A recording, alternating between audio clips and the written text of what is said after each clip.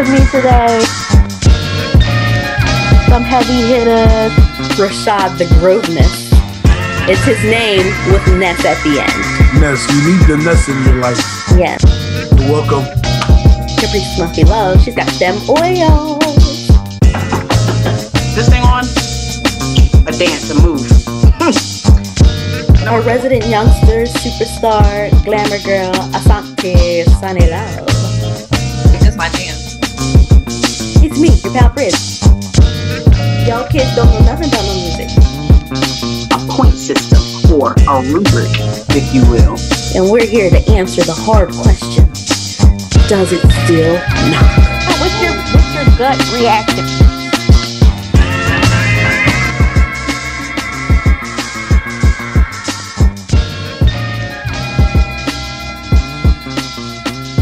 Hey y'all, You. It's me, your pal Briz, and I'm here with my friends. And we're gonna answer the hard question: Does it still Oh, you knock? said you said you was gonna uh, announce the starting lineup for the uh, World Series. Y'all are heavy hitters. yes! I got my lover, Rashad Grove. I got my bestie, Muffy Love, and our collective daughter, Sonny Love, the superstar.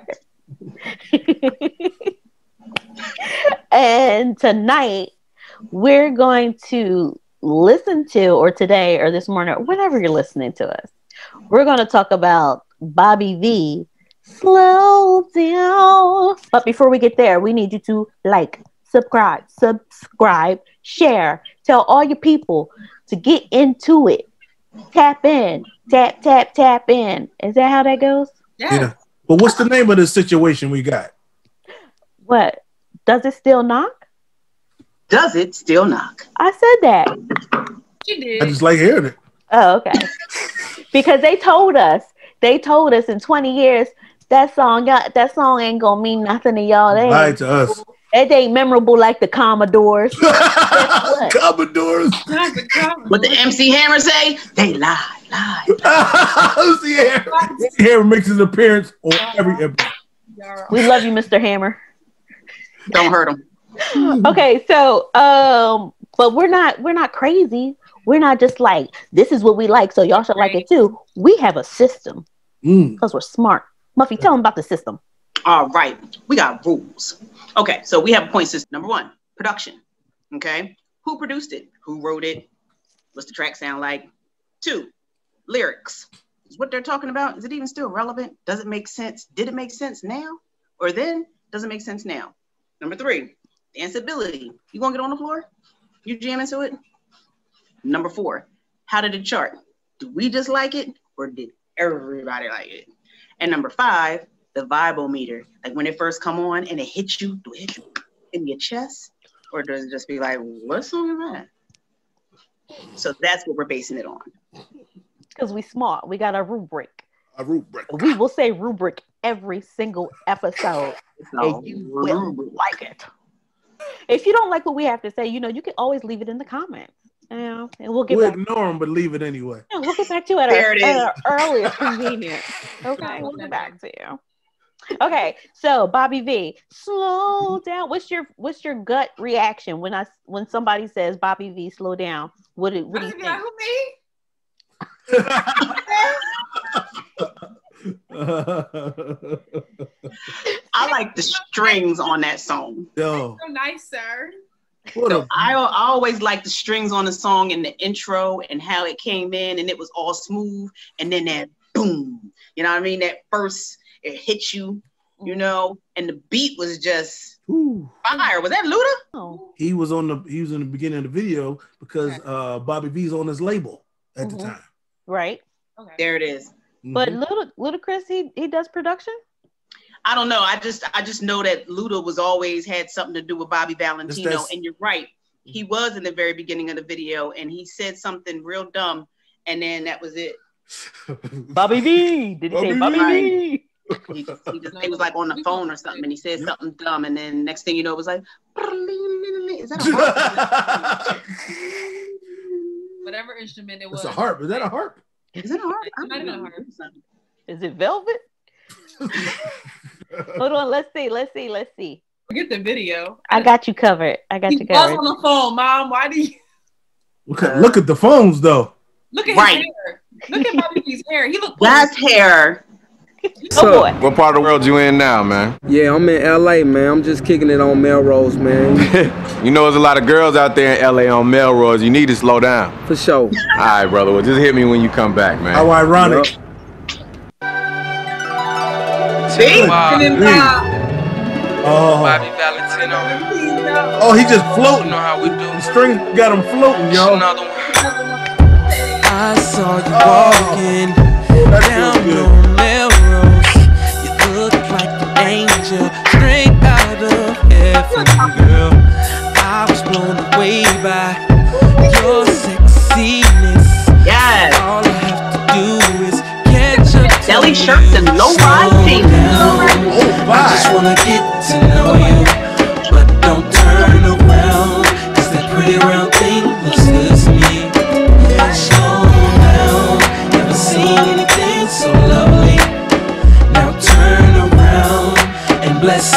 with your beauty, cutie. Okay. Oh man. Guys, I, I mean, we might as well just sign off right now. The joint knocks. Buddy. It's still. Didn't it? finger. Oh my god. Listen, I think it's that's a gorgeous track. Did you say gorgeous? Gorgeous. and listen, produced by Tim and Bob. Tim and Bob. Also, they don't know Jon B, which we talked about on the previous episode. about this. And, and and and as a record fake producer myself, I, I was always wanting to know where in the hell did they sample this from? Hans Zimmer. You wouldn't know any of my influences. They're mostly German. and, and and I knew his name because he does scores for like the Lion King, I know who all Hans the Zimmer Rocky is. movies. I know a who score Hans guy. That's where they got those beautiful strings. Okay. Y'all remember Deitrick Haddon? Yes. Yes. Yes. So he got a song, and I forget what it's called, but I Wait, promise you, I remember he definitely sampled. I And he it's, he, it, it's, it is basically slow down, It's- except it's- he just added Jesus. I Yeah. believe you. Well, Rashad said, if you bless me with your beauty, it's basically a, it's That's a, an anointing. it's a We could put it on, look, sing it on the choir. I got Holy Ghost all over. You know, this song saved Bobby V from the back of the Blackberry molasses truck. Mm. He, he went from struggle mode to hanging with Ludacris. His hair is dyed. He's floating. And listen, it was a big song too. I didn't realize how big it was. You know, you know. I just think black folks like it. Number eight on the Billboard 100. Okay, Nice. buddy. I, ain't Wow. even- Top 10 song. I believe it though. What year? 2005. Four or five. How old were you, Sonny? I was eight. She's our resident young person. But We you don't- was singing it too. Bless me with your beauty. They produced the hell out of that one. Yeah, they did. What I like about the song, we talk about production, it it it connects like it was new school, but you can hear if Marvin Gaye was alive, he could sing over that. yeah. Yep. Because it had all type of ching a lang a Oh my goodness. Hmm? You know what I mean? Right. All type of, you know, and, And then the, it was mixed really well. Like listening Yes. to it just now, all the background vocals are still really prominent, and the, you don't lose the drums, you didn't lose the bass. Like People I know what they were doing. That's the vibe. And, and, and, and, and like Muffy said, it feels like a summer song. It was released February 29th, but it was such a big song. Mhm. we was rocking that still in the We just kept summertime. playing. Oh, people's getting married to that. I believe it. That's the reception song. That's the reception when DJ Griffin's like, and coming now, the bride and groom. who wrote the lyrics? Tim, Oh, Roberto, they wrote and produced it. they wrote and them. produced it. Okay. Wow. Okay. So what was he talking about though? Slow down. I just want to get to know you. I saw you. I saw you on Melrose. I'm trying to holler at you now. See, Right. I like your back bum bum. And you cute. Right. But don't turn around. Not yet. Not Slow yet. down. I want to get to know you first. No, he's wait. He sees her from the back, so the booty is nice, It's and, nice. and so he's like, "Slow down. I'm trying to catch up with you. I want to get to know you." But really, that's all about that ass. But then he's like, It's "Bless toxic. me with your beauty." Bless me. Yes, bless He me. said, 'cause he said, now turn around. Now turn around. Let me see your face. It's a whole process. Yeah, And bless me with your and beauty. bless me with oh, your beauty. Oh, you a beauty. cutie. Then he started talking about Cupid, so he so it got some romantic elements. Right, because Cupid hit him. Cupid shot him. And when he hit him, he said, "Damn." Damn. See that, that second that second verse, he kind of got a little provocative. The song is about chasing tail. It is. Tell. It's like basically it's saying like I'm gonna make you mine for a little bit, girl, and then we'll move on. Not They long. won't stop until those seven digits are in my hand. But then he went on to something poetic, like a something. Yes, that's what Um, I'm saying. They um you know by now that Yeah. I want you back. Hold it, hold it, and I can't come down. Baby, you Something hit me already. Damn. Damn. He Just used to said kill me. kitchen. Or in my hand, my hand, like a something, something, and Yes. something, girl, you're ready. Something. Oh man. We don't know the lyrics, but they still not. No, Right. listen. Well, this song is a bit stalkerish. It is. has has a little Me Too vibe element to it. Um, whoever that girl is right now could probably put him on blast on Twitter. He also we noticed he like- had an observation as I, I I- I pulled up the lyrics real quick. A butterfly tattoo. He definitely said Yeah, Right above your On your belly. your belly button's pierced too. Just like I like it, girl. Sonny, you know these lyrics right off the top of good- your I'm- head. I'm- Like I a know flower lyrics. I bloom in the summertime. You're ready. You're ready, girl. You're ready. Sizing her up. Oh my! Man, I didn't even This I didn't even song- realize it. This song gives me Tevin Campbell, Can We Talk vibes. It's the same stalkerish, but he's still talking about the same thing. Oh, he would have You sang don't this know it's a stalker song too after Right. he already stalked you. Now I'm mad. I wish Tevin would have sung this. Tevin could have sung that. He'd Tevin have took it to church. He. Oh my goodness. but it Tevin gave could've sung that. So Yeah, Well, as long as that girl was four feet, because Bobby Valentino is five one. He looked short in the car laying back. I was gonna say something. When he was reclining in the oh, I was like, yeah. show bus He show. let him. He real let him. I don't- All right. Oh, my So we talked about production, the lyrics. Um, does it move the crowd? If this came on in a wedding, I mean, I know in 2005 it came on a wedding, we would have been on the floor. But if it came on in a wedding today, would Yep. you you be up and dancing and ready? I'm still gonna do the ace. That's Okay. the per- perfect two stepper. Okay. Where did it land on the charts? Number eight, top ten. Uh, even to the end of the year? Was that its peak or that was Couldn't it? find the end of the year, but Okay. the peak was in uh top ten, number one on the Black People charts, R and B.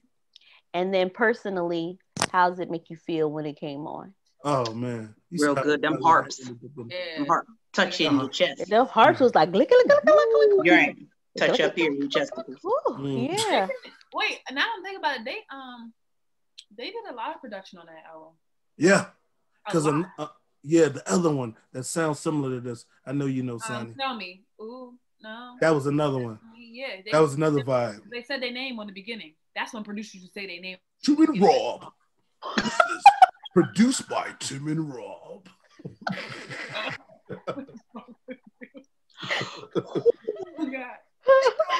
That's how now. Now that's why everybody do it. Right. At the end of all those songs, if you ever the end, a lot of those um a lot of those singers, remember mom was telling you they always said the year it came out. They don't do that no more. Did Yeah. they stop? Matter of fact, I got a Tim Rob. They started that producer tagging. Mm-hmm. great. Maybach music. Oh, not Maybach music. Not.